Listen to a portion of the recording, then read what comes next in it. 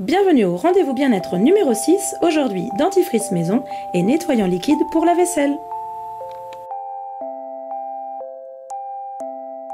Voilà, il faut savoir que l'huile de coco c'est antibactérien, antifongique euh,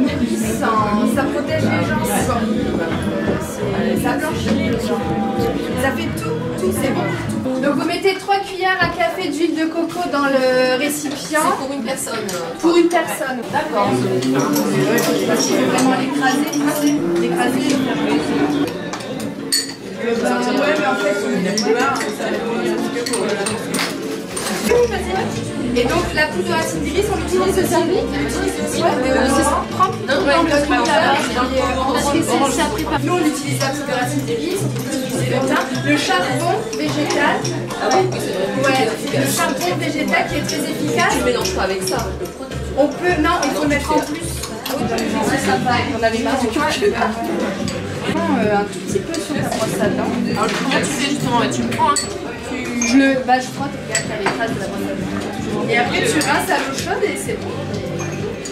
Ah, t'as pas de mauvaise haleine. Et après, vous pouvez ajouter l'huile essentielle de menthe poivrée et euh, amandatée.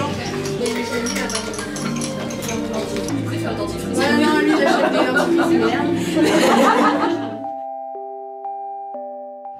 Tu fais pour un litre Tu fais combien Moi, je vais faire un litre. Tout le monde s'en sort Alors, les questions. 80 ml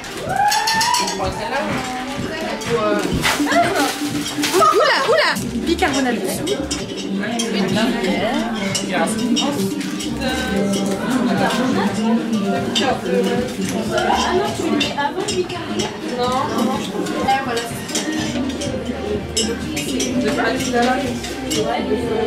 non, Non, C'est un jour vous n'avez pas de savon noir, pas de savon noir.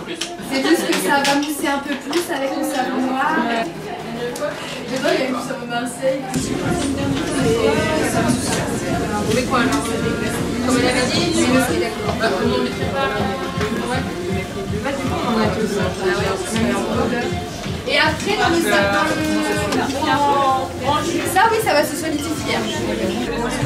Oui, oui, non, c'est